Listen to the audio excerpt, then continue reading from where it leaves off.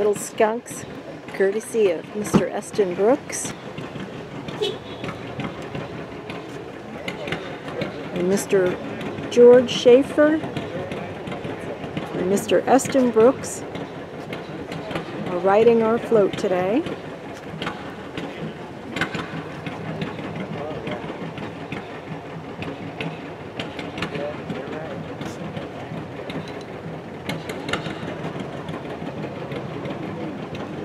Dave Daniels.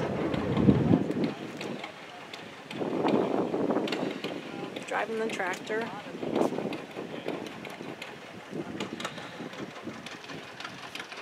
And of course, Pete Lazork's wagon.